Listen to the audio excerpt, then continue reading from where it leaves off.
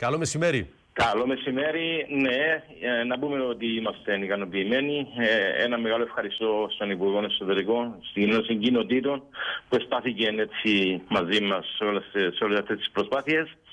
Τώρα κερδίθηκε το πρώτο στοίχημα που είναι αυτό. Εγώ, όπως είπα ε, και στο Υπουργείο Εσωτερικών, αναμένουμε ακόμα ένα άλλο μεγάλο στοίχημα που θα πρέπει να κερδιθεί το οποίο ονομάζεται στεγαστικό σχέδιο για τι ερευνέ. Πριν πάμε στο στεγαστικό σχέδιο. Ναι, Αιτήσει ναι, ναι. θα πάρετε εκεί στα κοινοτικά συμβούλια να προμηθεύσετε τους κατοίκους για να κάνουν την αίτηση; Η διαδικασία είναι διαφορετική, κύριε ναι.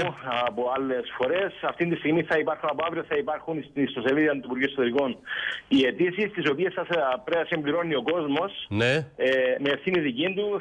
Σίγουρα ε, θα, θα ζητηθεί και από εμάς ε, στη συνέχεια από την επαρχιακή διοίκηση για να δηλώσουμε, να βεβαιώσουμε αν είναι μόνιμος κάτοικος κάποιος ή όχι, γιατί πρόκειται για ένα επίδομα το οποίο αφορά αποκλειστικά εκείνον τον κόσμο που μένει στις ορεινές περιοχές μόνοι και κανέναν άλλο.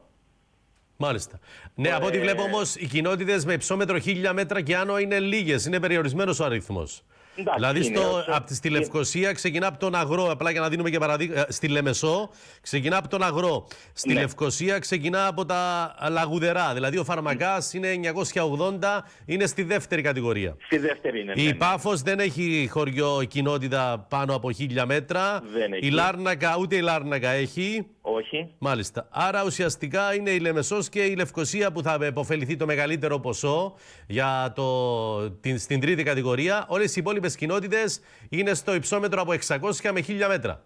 Από 600 μέχρι 800, 800 1000 είναι οι περισσότερες κοινότητες. Εντάξει, είναι πιο λίγες κοινότητες από τα 1000 και πάνω. Ε, είναι και παραπάνω τα προβλήματα τους όμως. Η αλήθεια να λέγεται. Μάλιστα. Άρα θα πρέπει να κάνουν τις αιτήσεις να πάρουν. Και αυτό θα δίνεται κάθε χρόνο, κύριε Σικοπετρίτη. Κάθε χρόνο και ο κύριο Υπουργός το είπε καθαρά. Είναι αρχή γενομένη από φέτος. Ε, ξεκινούμε για κάθε χρόνο. Μάλιστα στη συνάντησή μας, ε, όπω είχε μπει και παλαιότερα, ε, ο στόχος είναι να θεσμοθετηθεί πλέον για να μην αναζητούμε κάτι. Και μιλάμε για μόνιμους κατοικούς. Για τους μόνιμους κατοίκους και μόνο. Μάλιστα. Ποιος θα το πιστοποιεί αυτό; Μπορεί κάποιος να έχει ένα σπίτι, ξέρω εγώ. Ο κάθε μόνιμος κάτοικος θα συμπληρώνει την αίτησή του. Μάλιστα. Θα αξιολογείται από την επαρχιακή διοίκηση, η οποία θα ζητά και πληροφορίες από εμάς. Μάλιστα. Άρα και το δεύτερο, το δεύτερο στοίχημα ποιο είναι, σύντομα, πέστε μου το δεύτερο στοίχημα. Το στεγαστικό σχέδιο το οποίο λείπει από την περιοχή, από τις ειρηνές περιοχές, διότι υπάρχουν στεγαστικά προγράμματα τα οποία λειτουργούν, το είπαμε καθαρά και στον κύριο Υπουργό, λειτουργούν σε βάρος των ειρηνών περιοχών. Ε, αναμένουμε ότι σύντομα, διότι το συζητήσαμε αρκετές φορές και με, με, με λειτουργούς του Υπουργείου Εσωτερικών, και αναμένουμε ότι σύντομα θα υλοποιηθεί και αυτό και θα εξαγγελθεί. Μάλιστα. Ευχαριστούμε πάρα πολύ κύριε Σικοπέτη. Και εμείς ευχαριστούμε κύριε Κυριάκου. Σας ευχαριστούμε επίσης γιατί μας δώσετε την ευκαιρία να αναδείξουμε το πρόβλημα μας από την, ε, ο σταθμός σας. Και έτσι ξανά ένα μεγάλο ευχαριστώ και σε εσάς. Λοιπόν, ευχαριστούμε πάρα πολύ. Να δούμε την κάρτα την πρώτη για να ξεκαθαρίσω και την δεύτερη.